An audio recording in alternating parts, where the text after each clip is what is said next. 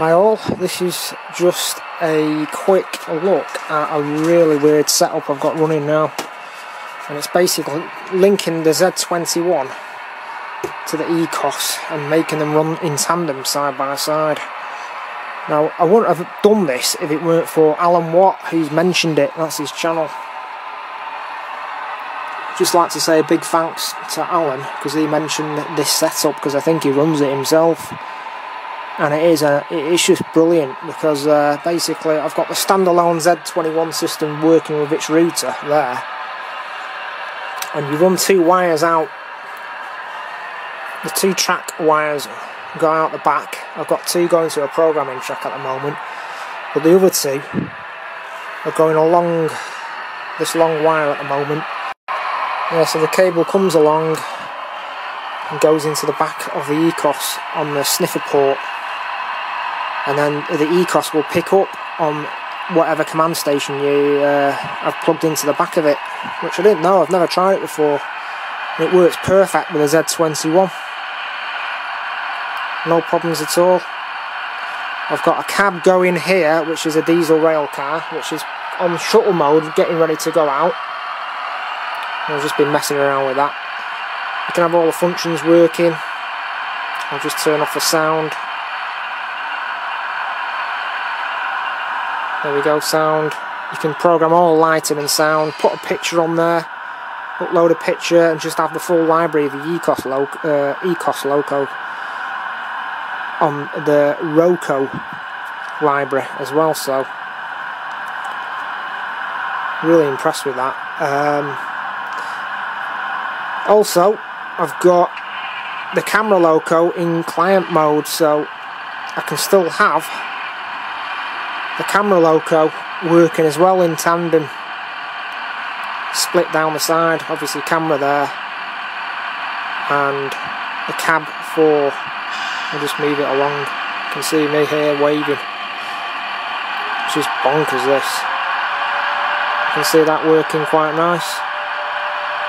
And of course you can have the cab overlay which it'll load up now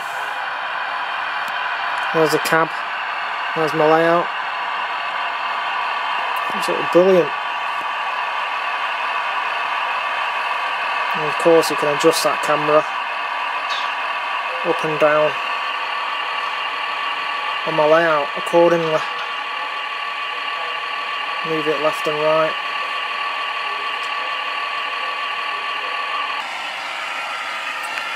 And that's the shuttle mode just gone out.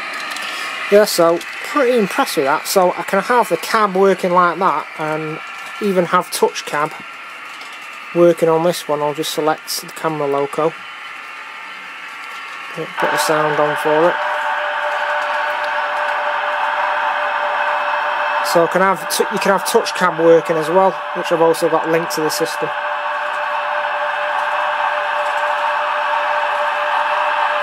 And uh, also an Android phone, so I've got one, two, three, the ECOS 4 and a Fleischmann Profi Boss as well.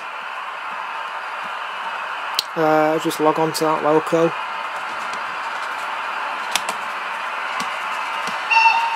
So that'll work the camera loco or whatever loco and that's going through the Elnet adapter so got quite a lot of things going on here. So and another item obviously is the iTrain that's linked onto the system as well. It's got a shuttle train coming in now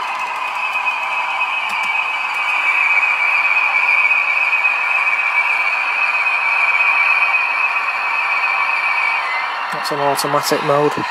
So yeah really impressed with this uh, setup now. It's didn't think it'd be possible to do it but it's working uh, very nice really impressed with that. And of course I've got iTrain I thought I'd try that as well logged onto the system. Let's get out of that. Got iTrain running as well which I've been building obviously. Uh, I've gone onto the main lines. I'm actually building the main lines now so it's all taking shape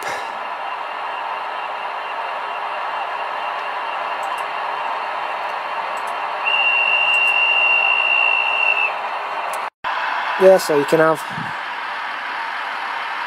that in a full screen. You can work it on the ECOS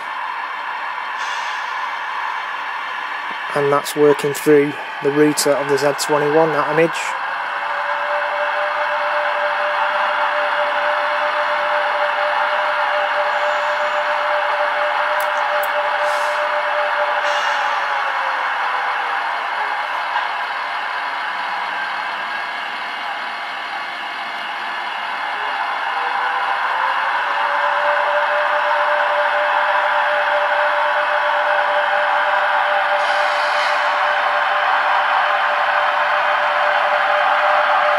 So controlling that on the ECOS and looking on the Z21 at the camera. There's a loco going past now. So you could have, you could just work your points, shut that off.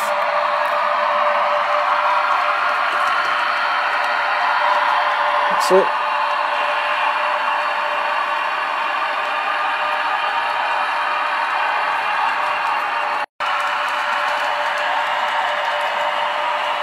Nice shot there from the camera loco.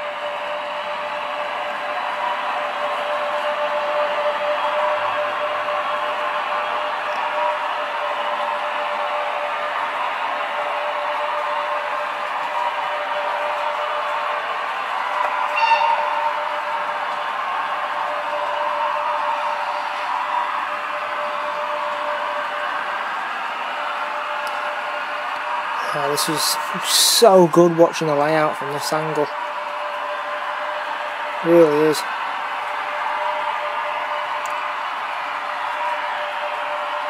Streaming the images live, it's just brilliant.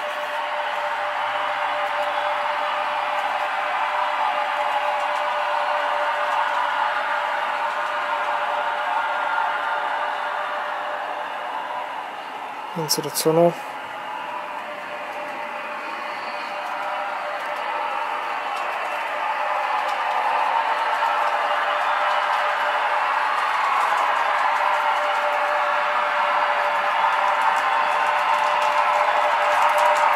That's just gone off into its shuttle run again, up the side. Coming out here.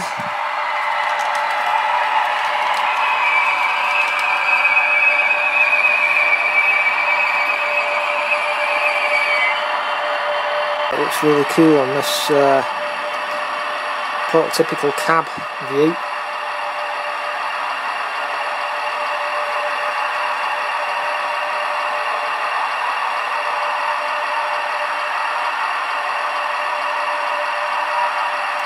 it's really good on the cab view. It's good because you can actually move the camera, move that picture around, up and down. While you're moving, you can even zoom it in and out. So you can position that camera in the cab the way you'd want it set up your layout. What it does advise in the Z21 instruction manual is to have the router, if possible, in the centre of the layout for best possible, uh, you know, uh, communication connections. If you have a massive layout, and this isn't a big layout, but I'll probably move the router towards the centre of the layout anyway.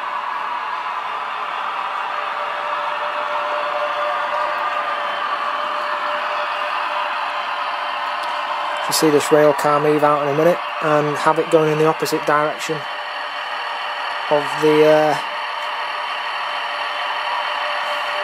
camera loco. Yeah, so that is the Z21 Android controller.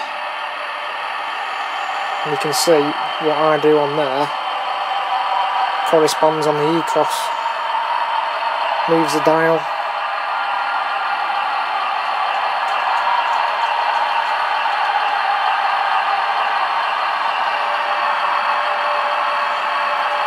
best of both worlds.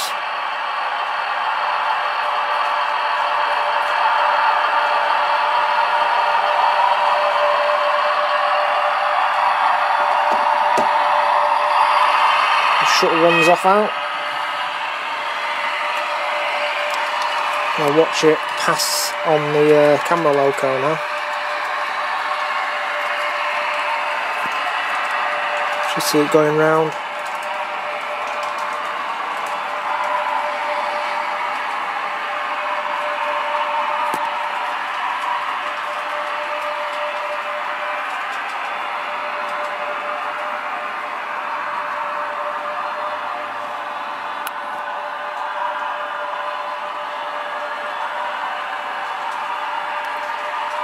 See it passing somewhere around this part of the layout. There it is. oh, that's cool. Go to full screen mode.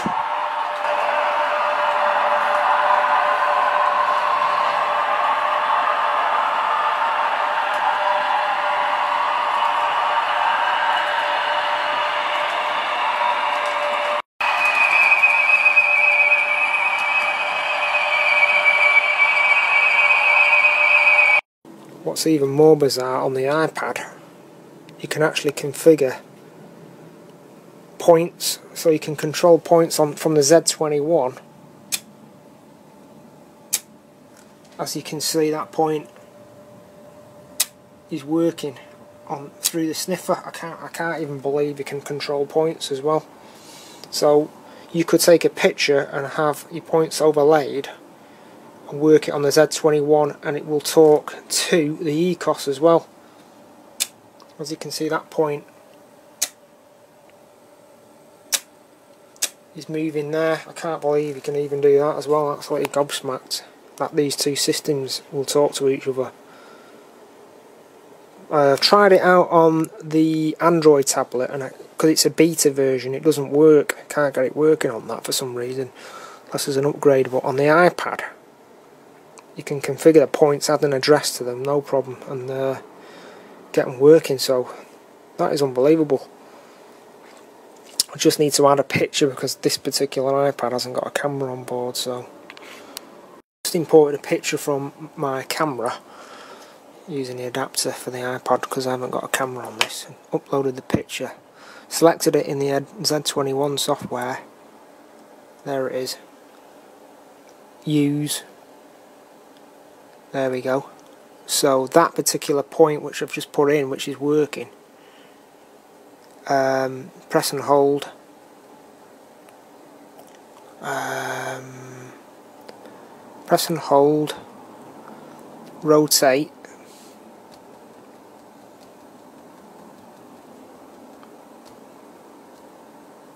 Move that point to where that one is uh, press and hold again, zoom in to make it match the size. This is what I love about this software, it is absolutely amazing.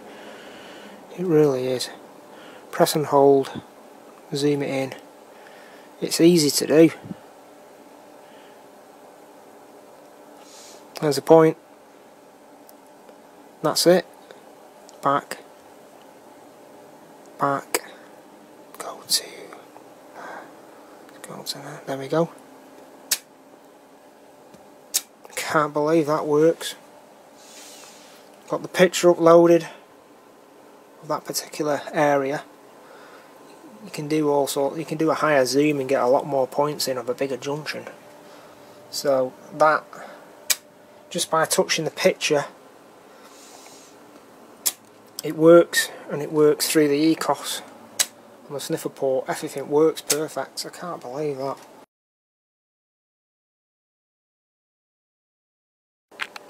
Yeah, I've just got an overhead shot of uh, layout junction, so I'm going to add some points on there. Um, a bit of confusion here because this one is fine. That works all alright, no problems. But I noticed there's a difference in variation on the addresses on the Z21 as opposed to the ECOS where it's wired up on. Excuse me. So yeah, I'm going to add a point in my yard now. So uh, the address is 53 on the ECOS. They've identified it as 53, and you do that just by pressing spanner and press over what point you want to investigate or whatever piece of track and it's that one so you press spanner question mark and it gives you uh, control board information at that point address 53 plus I'm going to give it four more spaces on the Z21 so that's 57 isn't it? Yeah 57 so I've got my picture I've got the point. So I'm going to grab that point press and hold it. Actually no before you do that you've got to go into the um, track control settings. Uh, fire over to that one that's it. Press and hold point. Rotate the point to which way you want it to go.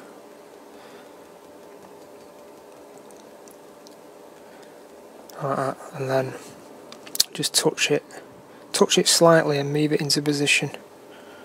And that's it. So that's done. So press and hold it again. Um, what do we do next? Hang on. Tap plus I think you put oh, what do I do next now to get that up and running? Oh that's it you tap on it press configuration. I'm going to put in address 50 57 hopefully that'll work. Press configuration. Yep. And that works. Exactly perfect. So then you get back out go back into the layout that should now work. Yeah and it does. Perfect but there's a variation of four spaces on the addresses as opposed to what it is on the actual ECOS. So if you're doing that if you do set it up like this you've got to bear that into consideration. But overall it is absolutely fantastic to see an over uh, overhead shot like that and you can put that into an even bigger panoramic view like that and you can see just it's just so good. It just works brilliantly. And you can see it working on the ECOS. But to have a photograph of that area uh, it's just absolutely brilliant. I love it. I think it's a brilliant system. Because there's no messing around drawing track plans like you do on an ECOS even though I do like doing that. It's just a photograph so you just overlay all your points and it's so easy to configure once you've logged them on the decoders. I just think it's an absolutely fantastic system you could have an even higher overhead shot and bring in the whole junction. Just brilliant. Absolutely love it. It's great. One of the best control systems I've ever seen for setting up